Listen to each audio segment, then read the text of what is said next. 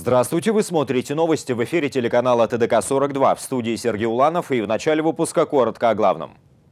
Касым Жумар Тукаев прилетел в Алматы и провел совещание по вопросам сейсмической безопасности. Он раскритиковал работу ДЧС, готовность инфраструктуры к эвакуации населения и системы оповещения. Тысячи крестьян Западно-Казахстанской области находятся на грани потери земель. По их словам, они получили угодья, вложили деньги и начали работать, но теперь выясняется, что земли им были выданы незаконно. Западно-Казахстанская область покроет свои потребности в сжиженном газе. Об этом сообщили в областном акимате. Как чиновники планируют обеспечить регион топливом и отказаться от поставок из соседних областей? Полиция Актубе задержала предполагаемого лжетеррориста, напугавшего родителей школьников. Анонимное сообщение взбудоражило весь город. Его автор предупредил горожан о якобы готовящихся вооруженных нападениях на учеников.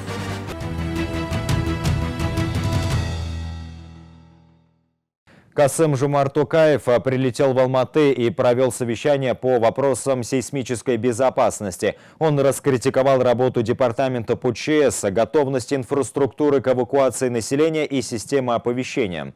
Президент поручил Генпрокуратуре Республики Агентство по противодействию коррупции провести проверку. Отдельно президент остановился на вопросе автоматизированной системы раннего оповещения. Ее должно были внедрить до конца прошлого года. Выделены деньги, чиновники освоили и даже отчитались, что установки готовы к работе. Но в нужный момент система почему-то не предупредила алматинцев об опасности. Разобраться с этим вопросом и в месячный срок доложить, и на что были потрачены деньги, и почему система не сработала, заявил Токаев. Судя по всему, бесполезными также оказались 27 тысяч сейсмотренировок и 2,5 половиной тысячи семинаров, проведенных за это время по всей стране, указал президент. Чувствуется, что все эти меры, которые вы предусматриваете, они должны были быть давно разработаны и как минимум на 50% уже реализованы. Только-только приступаете к работе. Это первое. Во-вторых, чувствуется оторванность от конкретной ситуации, к сожалению. Вот э, при негативном сценарии на первый план выйдут вопросы эвакуации и жизнеобеспечения людей. Возможно, потребуется соорудить, оборудовать палаточный городок – у нас должна быть готова вся необходимая инфраструктура на такой случай. Также стало известно, что автоматизированная система раннего оповещения о землетрясениях, на которую в Алматы потратили больше миллиарда тенге, находится до сих пор в тестовом режиме. Но Аким Алматы теперь предлагает еще одно решение. С учетом несвоевременного оповещения о землетрясении 23 января через СМС-сообщение операторами сотовой связи, Акиматом города предлагается внедрение системы экстренного массового оповещения населения, так называемый масс-алерт, в пилотном режиме. Данная система применяется во многих развитых странах. Его отличительной чертой является исключение зависимости от мобильных операторов. Система позволяет в течение 20 секунд оповещать всех жителей города о землетрясении, независимо от... Э, главное, чтобы был только включен сотовый телефон. Данный проект, Космодемьевич, мы готовы профинансировать за счет средств местного бюджета в сентября 2024 года. Неудовлетворительно отозвался президент Токаев о работе главы МЧС во время землетрясения в Алматы. Он предложил вернуть министра в научно-преподавательскую деятельность, если у него не получится переосмыслить свою работу. Бауржан Шайхмет Ахмедяр Ильясов, столичное бюро ТДК-42. Тысячи крестьян Западно-Казахстанской области находятся на грани потери земель. Об этом они заявили на пресс-конференции в столице. По их словам, 13 лет назад они получили угодья, вложили деньги и начали работать. А теперь выясняется, что тогда земли им были выданы незаконно. По словам фермеров, виноваты чиновники, но страдают они. Десятки казахстанских фермеров могут лишиться гектаров. Как выяснили прокуроры, участки сельхозназначений местные акиматы выдавали вне конкурса. В итоге пастбища и земли для выращивания культур суд решил вернуть в собственность государства. Фермеры к этому отношения не имеют. Были допущены процедурные ошибки э, на местном исполнительном органе Западно-Казахстанской области. Это они совершили ошибку. Фермеры – это добросовестные пользователи этой землей. И сегодня, по нашим подсчетам, э, около 6 тысяч фермеров на э, незаконной стороне. Да? То есть все, все, весь бизнес, который они ввели, который они строили, который они развивали, который они кредитовались, вкладывали ресурсы, это все вне закона. И сейчас их вынуждают вернуть эти землю государству. Почему-то нарушили государственные служащие закон, но платит за это сегодня фермер. Это все надо вернуть в законное русло. То есть решение Верховного суда надо генеральному прокурору оспорить, потому что 6 тысяч человек, у каждого работает 3-5 человек, это около 20-25 тысяч рабочих мест можно потерять.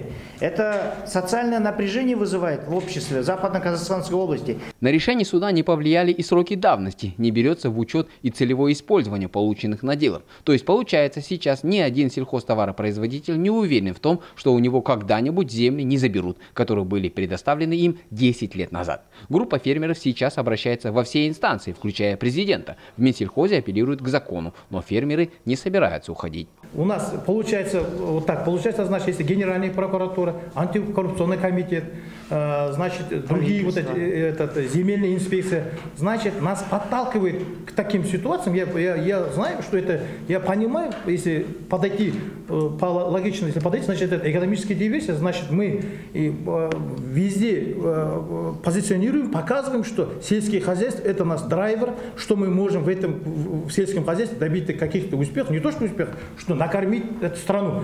Если мы вот такими ситуациями мы не накормим страну, получается мы себе сами копаем могилу. Значит, мы придем к тому, придем, будем, значит, как эти нефтяники, сидеть там палатками. Проверка пришла к выводу, что участки выданы незаконно, так как сельскохозяйственные земли распределяются только по аукционной системе. Эти решения в свое время принимались в большинстве своем предыдущими акимами. Фермерам мешает постановление Верховного суда, где четко прописано о том, что сельхозземли должны предоставляться только по аукциону. Акимат области э, якобы делает такое предложение фермерам. Вот мы уже у вас забрали, они вообще еще хотят все 6 тысяч прогнать через Верховный суд и говорят, мы будем у вас забирать потихоньку, а потом через конкурсы Давай. вам же отдавать. Это невозможно, потому что по условиям конкурса любой гражданин Республики Казахстан имеет право принимать участие в этом конкурсе, показывать свое э, будущем, в которое он готов инвестиции, и этот конкурс выиграть. А что касается тех, кто допустил эти нарушения, да. это нынешние Аким области, другие да, высокопоставленные чиновники на местном уровне и в республиканском уровне, с ними пусть занимается антикор. Причем такая ситуация повторяется и в других областях. Добавим, что в Казахстане продолжается масштабная кампания по возврату неиспользуемых и незаконно выданных земель. В госсобственность уже возвращено без малого 10 миллионов гектаров пастбищ, полей и пашин. Бауржан Шейхмет, Ахмедяр Ильясов, столичное бюро ТДК-42. Западно-Казахстанская область покроет свои потребности в жиженном газе. Если раньше предприниматели региона осуществляли транспортировку топлива из соседних Атырауской и Актюбинской областей, теперь новое месторождение Рожковское закроет спрос области на автогаз. До конца 2024 года на месторождении планируется ввести в эксплуатацию четыре скважины. Наш корреспондент с подробностями. Газоконденсатное месторождение Рожковское было запущено в промышленную эксплуатацию в конце декабря минувшего года. При выходе проекта на полную мощность его добыча составит около 1 миллиарда кубометров газа и более 500 тысяч тонн конденсата в год, а ежегодное производство сжиженного углеводородного газа свыше 150 тысяч тонн. Подача сырого газа от месторождения будет осуществляться на газоперерабатывающие мощности ТО «Жайк-Мунай», после чего товарный газ будет поставляться на внутренний рынок рынок. Всего у нас по городу есть 4 газозаправочных станции. Выделяемый газ – это огромная помощь для нас, потому что до этого времени нам приходилось привозить газ из Актюбинской области вагонами. Было множество проблем, в том числе с логистикой и погодой. С помощью городского акимата нам выделяют дополнительный объем в размере 1100 тонн газа. Теперь стало очень удобно, не нужно ехать в Итерау, ждать там два дня. Это все время и деньги. Сейчас потребность области в жиженном газе для заправки автомобилей составляет от 3000 до 3500 тонн в месяц. Более 60% от общего объема автогаза потребляется транспортом областного центра. Эта услуга, как оказывается, наиболее востребована среди водителей такси и грузовиков. До этого мы дополнительные объемы брали в Актюбинской и Аталрауской областях. Соответственно, некоторые проблематичные вопросы возникали. Это транспорт, иногда ЖД-транспорт, транспорт. С мы везем автовывозом. Соответственно, станции налива находятся в пределах города Уральск. И по логистике, и по транспортировке у нас будет меньше вопросов. К слову, выпущенные объемы сжиженного нефтяного газа распределили между 17 автозаправочными станциями. Потребность региона на сегодня примерно 4,5 тысяч тонн в месяц. По словам местных властей, месторождение Рожковское – серьезная ресурсная база. После запуска всех скважин регион полностью закроет потребности в этом виде топлива. Дана Керимбаева, Булат Джигапар, Александр Грабарев, телеканал ТДК-42.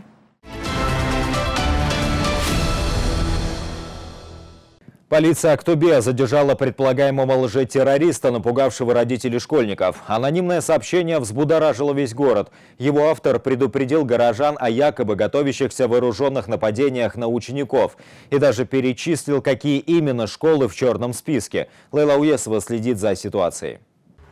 Страх и ужас пережили родители школьников в Актубе. Горожан взбудоражили сообщения о якобы предстоящих массовых убийствах учащихся. На одном из телеграм-каналов появились публикации о том, что на городские объекты образования готовятся вооруженные нападения. Неизвестный угрожал устроить массовый расстрел. Из-за рассылок родители стали спешно забирать детей с уроков, а ученики второй смены отказывались идти на занятия. Если будет опять неспокойно, то не пустим детей в школу. Пусть онлайн занимается. Главное, чтобы полиция наказала автора этих угроз. Мы все переживаем. В родительских чатах ажиотаж. Люди боятся за своих детей. Кровавую бойню автор постов обещал устроить сегодня, 26 января. На фоне таких угроз возле учебных заведений усилили контроль. Полиция уверяет, что сообщение не что иное, как фейк. К слову, чуть позднее телеграм-канал был удален. Благодаря оперативным действиям силовых структур автора публикации удалось вычислить. По факту заведомо ложного сообщения об акте э, терроризма сотрудниками полиции – ходе проведения комплекса оперативных мероприятий был установлен 18-летний гражданин э, соседней страны. На данный момент оперативная обстановка в области стабильная, никаких поводов для беспокойства нет. Э, согласно статье 201 Уголовного процессуального кодекса, э, ход досудебного расследования разглашению не подлежит.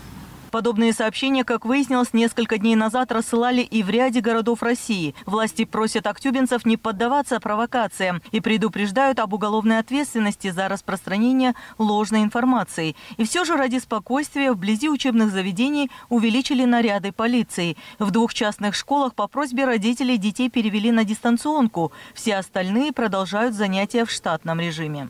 Информация недостоверная, поэтому а, нет необходимости переводить учебный процесс на дистанционный режим. Также призываем не поддаваться панике. Да, мы слышим, что э, родители забирают детей э, и просят, чтобы э, перевели э, учебный процесс на э, дистанционный. Э, этому нет необходимости. Хочу обратиться, что не стоит верить в такую информацию. Сейчас проводятся все меры оперативного реагирования. Также департамент полиции работает в усиленном режиме. На данный момент э, то, что было сказано, не подтверждается. Хочу обратиться, что э, нет повода для беспокойствия и верить только официальным представителям департамента полиции, Акимата области и департамента по чрезвычайным ситуациям. По информации Управления образования, в городе 119 школ, из них 87 государственные. Сегодня из почти 58 тысяч детей, обучающихся первую смену, на занятия пришли всего 8 тысяч школьников. Между тем, во всех учебных заведениях усилили охрану, а также выставили дополнительные наряды. Однако многие родители до сих пор в панике и не хотят пускать детей в школу. Но, как сообщили в полиции, на данный момент ситуация находится под контролем и поводов для беспокойства нет. Лейла Ойсова, Жумар Хадабергенов, телеканал ТДК-42, Актубе. Лжеполицейского, который обманывал жителей, задержали сотрудники полиции Западно-Казахстанской области. Житель Уральска успел незаконно получить от горожан 100 тысяч тенге. Как сообщили в пресс-службе департамента полиции, 25 января сотрудники правоохранительных органов задержали мужчину 1990 года рождения, который выдавал себя за стражи порядка. В ходе обыска по месту жительства задержанного и в его автомашине стражи порядка обнаружили и изъяли автомат на базе АК для игры в страйкбол, две пневматические винтовки, форменное обмундирование сотрудника полиции и вязаную маску с прорезями для глаз. Каждый пятый житель страны страдает от действий мошенников. В Западно-Казахстанской области за последний месяц по данному факту зарегистрировано 26 уголовных дел. Как защитить себя от обмана и предотвратить потенциальные угрозы, расскажут наши корреспонденты.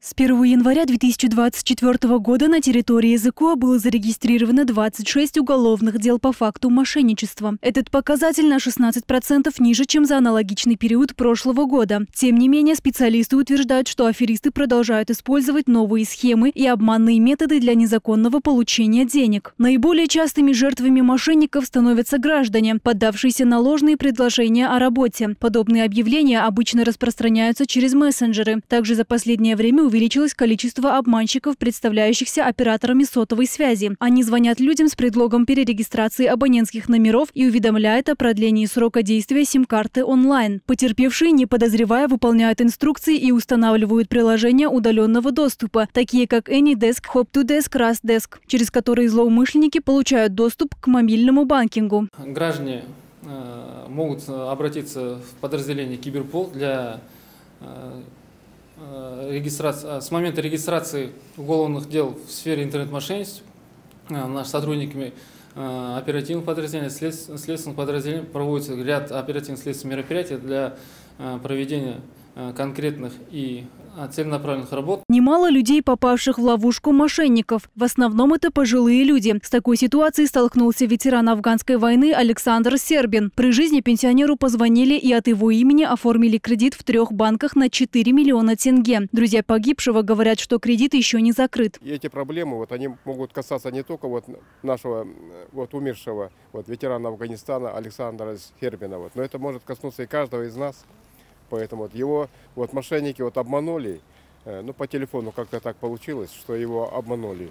Вот, и вот он, и на него там оформили там незаконно. Вот. Ветераны готовят обращение к главе государства с целью достижения справедливости. К слову, эксперты отрасли предупреждают, что при подозрительных звонках необходимо немедленно прекратить диалог, чтобы избежать попадания в ловушку мошенников и уточнить информацию, позвонив по официальным номерам. Амина Махсотова, Олег Писаренко, Аймурат Жагапар, телеканал ТДК-42.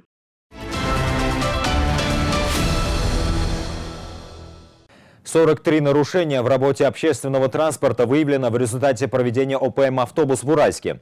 Оперативно-профилактическое мероприятие длилось 4 дня с 22 по 25 января. Сотрудники полиции проверяли состояние автотранспортных средств и соблюдение правил вождения пассажирскими автобусами. Выявлен ряд нарушений в документации, техническом состоянии автобусов, управлении транспортными средствами. Из общего числа нарушений выявлены такие, как переоборудование транспортных средств без соответствующего разрешения. По такому, э, значит, было составлено 6 фактов, 6 по административных протоколов. Один водитель не прошел предрейсовый техосмотр. 6 человек пользовались сотовым телефоном при управлении транспортным средством.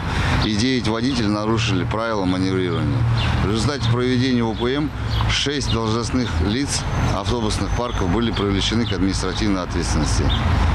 За все составленные административные протокола э, значит, предусмотрены э, штрафы, административные штрафы. Крупный мясокомбинат в Западном Казахстане готов перерабатывать мясо сайги и производить консервы. Как отметили представители предприятия, при введении в законную силу соответствующих правил появится возможность осуществлять убой и производство, обеспечивая население региона готовой продукции из мяса сайги.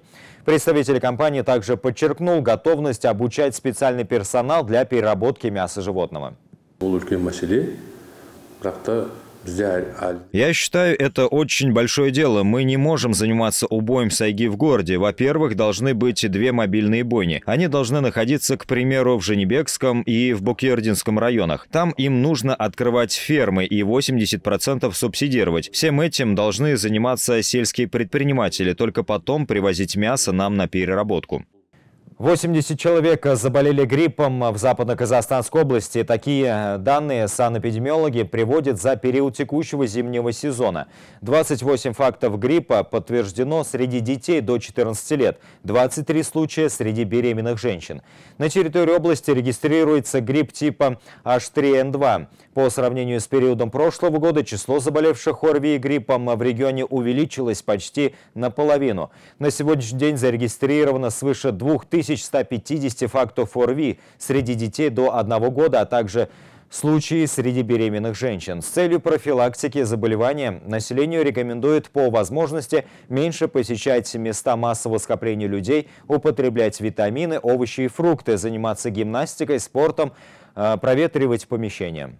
Эпидемиологическая ситуация по острым респираторным вирусным инфекциям Западно-Казахстанской области повысилась на 45% по сравнению с прошлым эпидемиологическим сезоном. С 1 октября 2023 года по настоящее время по области зарегистрировано более 1000, 100 а, тысяч случаев острой респираторной вирусной инфекции, из них 70 а, тысяч случаев зарегистрировано среди детей до 14 лет, что составляет 64% заболеваемости данной инфекции. Телеканал ТДК-42 приглашает студентов на практику. Так, первые лица и руководство телеканала посетили Западно-Казахстанский университет имени Утимисова и провели профориентационную работу с будущими филологами и режиссерами.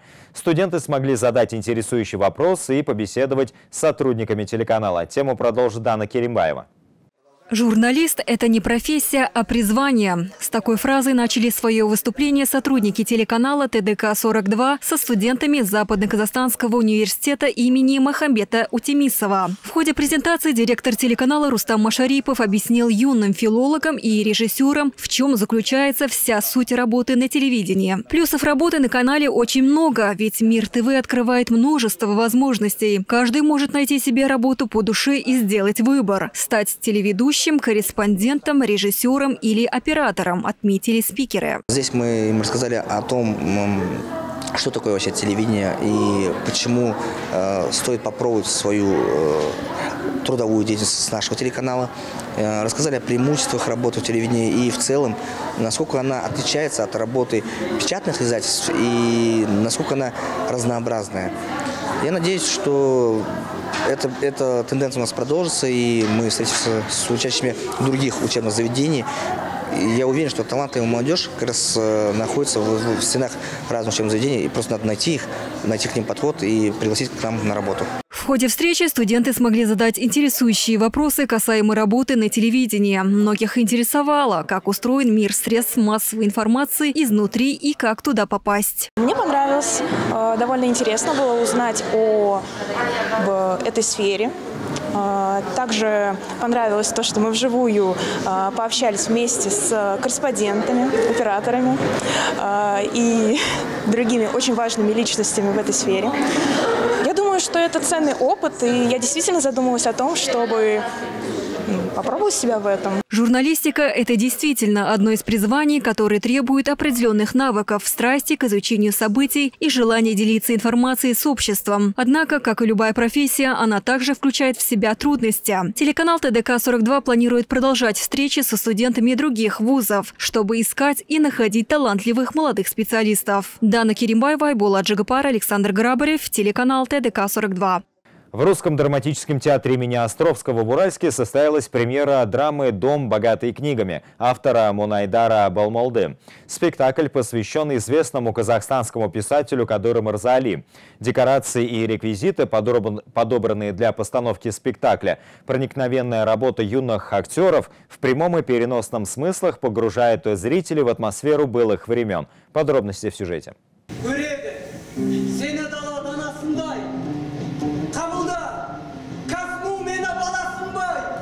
Творчество Кадыра Марзали стало национальным достоянием Казахстана. Самого автора называют народным писателем. Спектакль «Дом, богатый книгами», охватывающий период от детства до преклонного возраста поэта, прошел в Русском драматическом театре имени Островского. Автор произведения Мнайдар Балмулда, режиссер Алмат Шарипов. В этот раз на сцену вышли не только профессиональные актеры, но и обычные сотрудники центра Кадыра Марзали.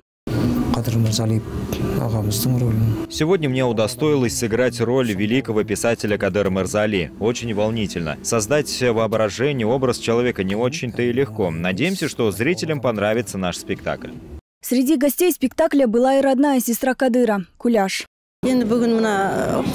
Сегодня мы пришли на спектакль, посвященный моему брату Кадыру под названием «Дом, богатый книгами». Надеюсь, зрителям понравится представление. Спасибо всем организаторам за работу. Нам очень приятно. Спектакль посетили студенты учебных заведений, школьники, сотрудники учреждений и жители города. Планируется, что эта постановка будет показана в Астане, Алматы и других городах. Дана Килибаева, Марлен Искалиев, Нурлан Шамгонов, телеканал ТДК-42. Более 26 лет посвятила работе с учениками уральский педагог Акштаб Сюингалиева. Свою трудовую деятельность педагог-исследователь начала в качестве учителя английского языка. На сегодняшний момент она достигла значительных успехов и внесла ценный вклад в образование своих учеников. В рамках рубрики «Герои труда» наша съемочная группа лично встретилась с педагогом. Акштаб Сьюнгалиева посвятила сфере образования 26 лет, из которых последние 15 она успешно занимает должность заместителя директора. Однако ее стремление к профессиональному росту не ограничивается этим. В настоящее время педагог-исследователь активно продолжает развиваться и обучаться в ВУЗе. Я считаю, что постоянное стремление к профессиональному росту учителей не только раскрывает творческий потенциал, но и развивает у учеников интерес к науке, утверждает Акштаб Сьюнгалиева. В своей работе она активно внедряет различные методики обучения обучения, стремясь делиться своим опытом и вдохновлять учеников на активное обучение. На своих уроках английского языка я использую коммуникативные методы обучения, активные формы обучения, когда все ученики вовлекаются. А сейчас, э, благодаря обновленному содержанию образования, учителя поняли необходимость и вообще важность активных форм обучения. То есть ученики не пассивные зрители, когда учитель передает, а сами являются активными участниками творческого э, учебного процесса. То есть э, учитель, он только направляет, помогает, подсказывает. Выдающимся достижением педагога является ее статус тренера в Центре педагогического мастерства, где она успешно обучает учителей как из своего региона, так и из республики. Ее профессионализм и способность эффективно преподавать знания отмечаются не только ее учениками, но и коллегами. Профессионал своего дела стал у нас заучим по методической работе. Скажу, что с этого времени наша методическая работа оживилась, стала на более новый уровень.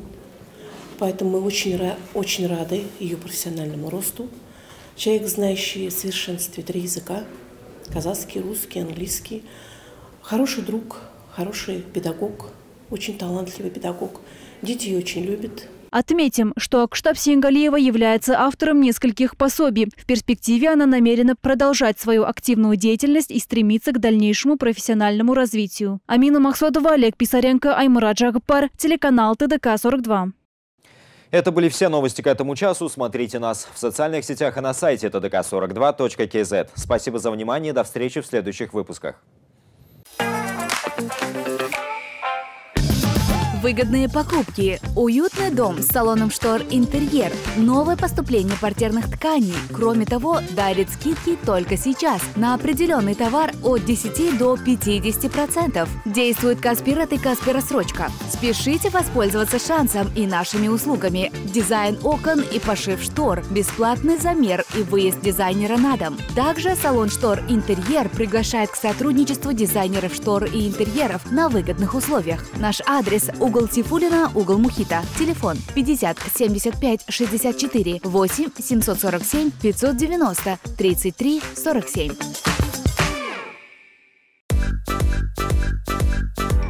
Одежда ведущим предоставлена магазином «Купер». Бутики мужской одежды «Купер» расположены в торгово-развлекательном комплексе «Сити-центр» на третьем этаже и в торгово-развлекательном центре «Азия Молл» на первом этаже.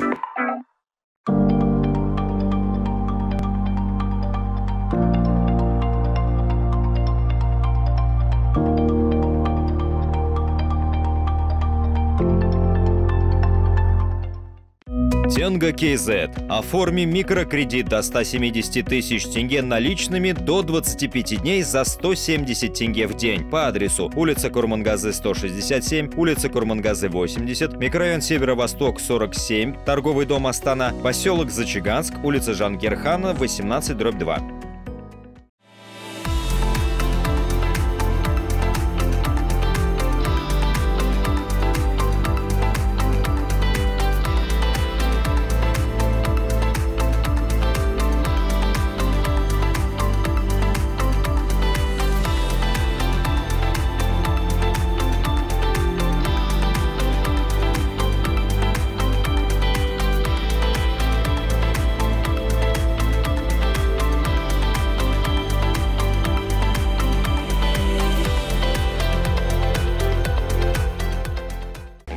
Оформите микрокредит в Хоке, Тинго или Хава на сумму от 20 до 170 тысяч тенге и выиграйте кругосветное путешествие. Розыгрыш призов каждую неделю.